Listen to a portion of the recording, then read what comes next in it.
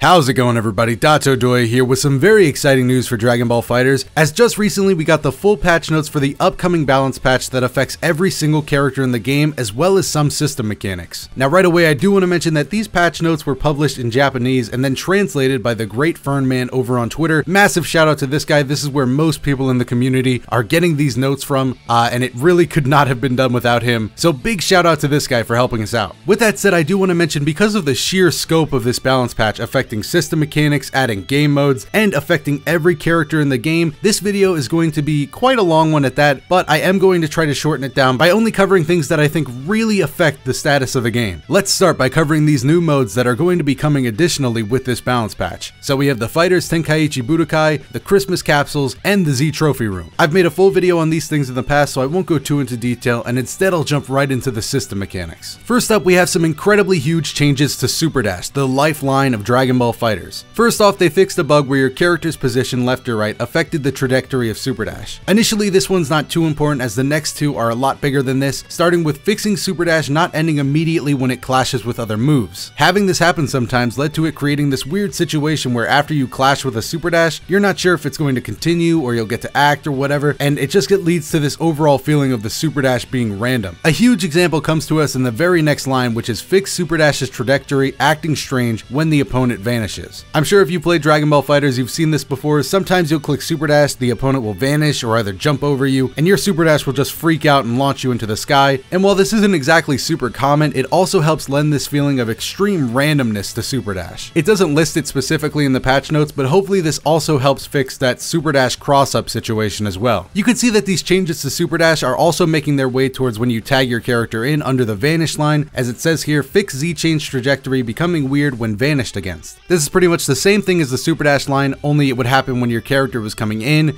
and then your opponent would vanish. But really though, I would say the two biggest system changes listed in these patch notes come under the guard cancel change and the Z assist change. Let's start with the guard cancel change. So now when you guard cancel, it takes smash on hit, it has increased recovery on hit, and it has increased untech time on hit. The big one you want to look out for is that it takes smash on hit. From now on, once this patch drops, you'll no longer be able to guard cancel in, hit the opponent, vanish, and then switch them out. This was huge at higher levels of play because it instantly put the game back in the person that was defending's control. And without Smash, that vanish will still be able to hit, but you'll no longer get that wall bounce which essentially takes away your ability to snap out the opponent. The Z assist change is just a big deal because now you can no longer call an assist in the same situations where you cannot Z change, examples after blocking or taking damage. So now the general idea is that if you can't switch into your character, then you can't call them out for an assist either. Again, this is a big change because in some defensive situations when you can't change out, your best option was to call in an assist to try to take the pressure off of you. So that's about it for the system changes in this patch. Now it's time to get into the character specific stuff. And like I said at the beginning of this video, if it's not too important, I'll probably either breeze past it or just not cover it as much in detail as some of the other stuff. So let's kick things off with Super Saiyan Goku who lost the head property on his 236L and M when he's on the ground. I'm glad we get to start with this as this is a running theme throughout the patch notes. Basically having a head property on a move means that if they use a head invulnerable move like a down heavy, they will go completely through your move and blow you up. So basically this is a buff to Super Saiyan Goku as they can't just down heavy through his punch anymore, but let's be honest, you're not using that move on the ground a lot, so Super Saiyan Goku is pretty much exactly the way he was before this patch. And I think the same can safely be said for Super Saiyan Vegeta as well,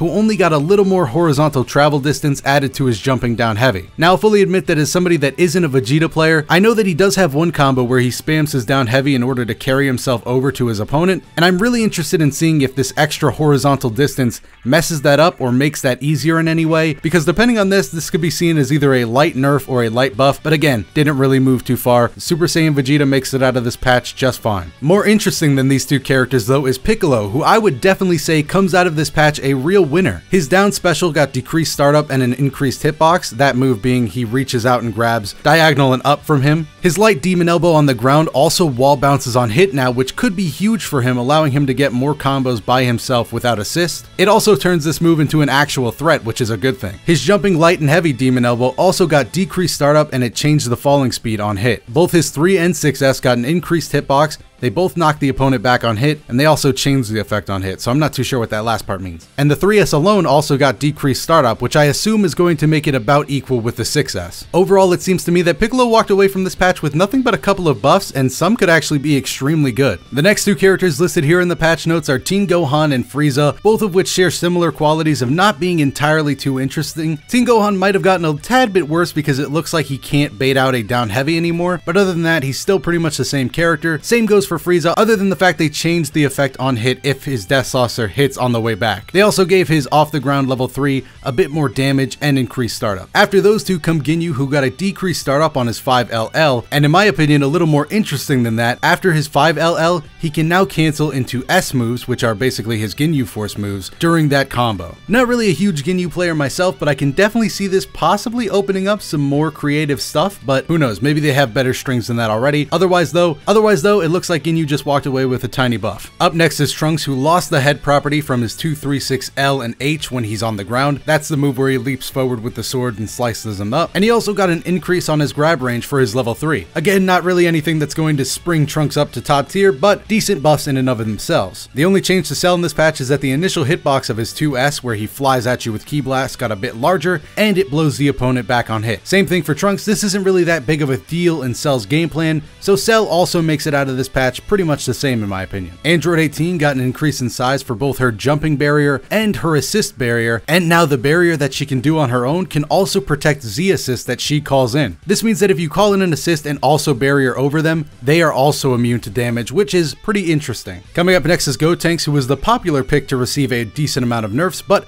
he actually made it through pretty unscathed. His 2H got an increased hitbox on the bottom of the move, for anti-airing small characters like Teen Gohan and Krillin. His mouth beam got a small bug fix, and the biggest nerf he received was after his level 3, he no longer has air options until after he lands on the ground. This was actually a pretty big thing for Gotenks as he could just as he could just use his front flip Ki Blast and go right into some good Oki. So while that is a pretty decent nerf, Gotenks got out of here pretty scot-free overall. So minor nerfs, but Gotenks is still Gotenks. Up next is the boy Krillin who actually got something pretty cool. His 214S or his Solar Flare got reduced recovery on whiff or block. Uh, this move was something that would lock Krillin in place when he did it, and then you would only get to move a decent bit after you activated it. It was still pretty powerful in block strings if you paired it up with assist, but now I'm even more interested in it as a tool for block strings. Uh, so Krillin walked out of here with a light buff as well. After Krillin is Kid Buu, who got increased startup on his Buu Ball, his 236L on the ground. That is a nerf to Kid Buu. That is a very strong move of his. Uh, that's also getting nerfed, so they're still gunning for Kid Buu out here. And his jumping 236 LM special, or the special where he supermans through the air, got increased startup if it hits on the way down, and they made it cross up after hitting less often. Overall though, I do think that 236L nerf is going to be felt by Kid Buu fans. Normal Majin Buu got the pushback reduced on his standing medium, and the startup decreased on his standing 5 heavy. This also came at the cost of the upper hitbox being reduced.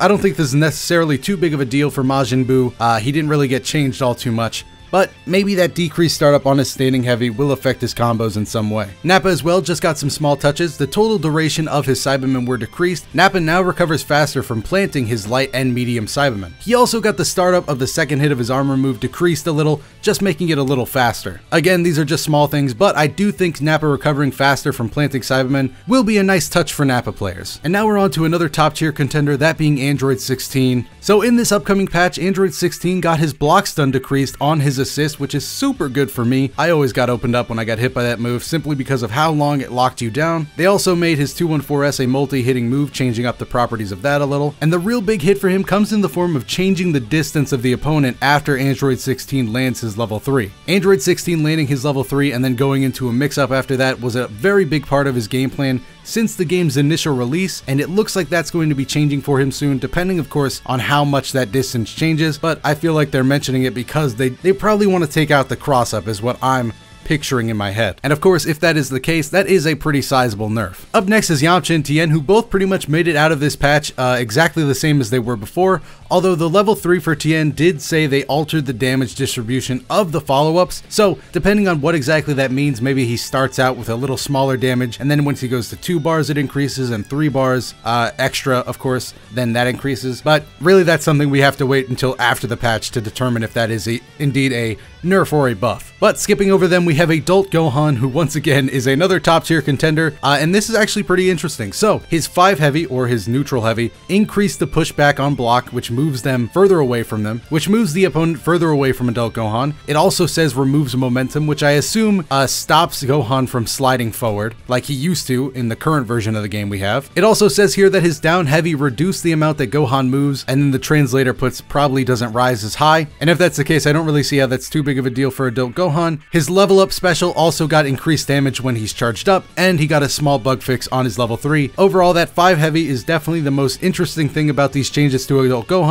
but I will admit that I don't think any of these are going to be enough to stop Adult Gohan from doing from doing Adult Gohan stuff. After Adult Gohan is actually Hit, who has a lot of text here that, from what I'm reading, pretty much just means that his super got changed a little, uh, maybe got a tiny bit of a hitbox increase above him, and also changed the effect on hit when he hits it jumping. But that's pretty much it for Hit. Really not too many big changes, just a lot of text talking about his one level 1 super. Differing from Hit in that regard is Goku Blue and Vegeta Blue, who both got very condensed text boxes, and Goku Blue actually interests me a lot. So 214 medium and heavy, that's the Shocking God Flash command grab, now teleports before attacking. Depending on what that means, that could be a huge buff to Shocking God Flash. Unfortunately though, this is at the cost of increased startup, and those moves were already slow to begin with, if that teleport is really good, then these moves could be looking at a buff. His 236 LNM or his elbow charge also reflect Ki Blast earlier now, so that's also a small buff. Vegeta Blue, much like his Super Saiyan counterpart, just got some increased horizontal movement on that jumping down heavy. And that's pretty much all. And then moving on to another big winner of this patch, which I never imagined I would say, is Beerus, who basically just got a lot faster, a lot of decreased startup on a lot of his moves, 236S,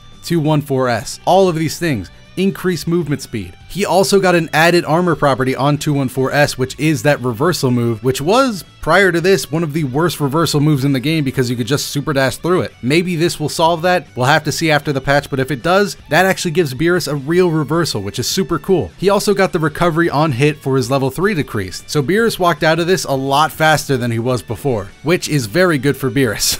Goku Black got a few small changes to his supers that might actually end up being a nerf to him because his 236 LM super or his Divine Lasso got some increased damage, but this comes at the cost of him losing his bomb loops most likely, as it says they changed the effect on hit of his bomb loops. We don't know what that means, but I'm guessing they wanted to cut the loops. So we'll see what happens, but that's what I think is going to happen to Goku Black. Android 21 got the pushback on her standing medium decreased and also got and also got the recovery of her air level 3 decreased on hit. It also blows the opponent back on hit now. So nothing too crazy for her either. And then Bardock is another example of what happens when you have great Oki after a level 3. Bardock, 16, Gotenks all fell victim to this. Level 3, increased recovery on hit and changed distance from the opponent. Basically, this is a lot of words to say, yeah, that level 3 stuff, we're going to have to ask you to, to knock it out. Uh, Bardock, Depending on how huge this is, this could be a decent hit to his popularity, as a lot of people are playing him for that great wake up game after that level 3. That being said though, Bardock still has a lot of great tools, so Bardock players don't really have any reason to be super afraid that he's low tier out of nowhere. After Bardock is Broly, who will now have an easier time down heavying smaller characters, and on various of his special moves, his armor will kick in a little earlier. Not huge for Broly, but definitely a nice little change. After Broly, we have a huge winner, Vegito Blue. He walks out of this patch patch. Vegito Blue walks out of this patch with a jump cancelable jumping 2H. He can finally go the standard combo route with that thing. This is going to give him a little bit more damage at the cost of building a little less bar. I'm very interested in seeing what Vegito Blue players are going to come up with. And as a bonus, he also got a damage increase to his 236 LM special in the air. So Vegito Blue, big winner, come on down. Zamasu Fuse cannot be said the same about though, he just got a little bit of movement speed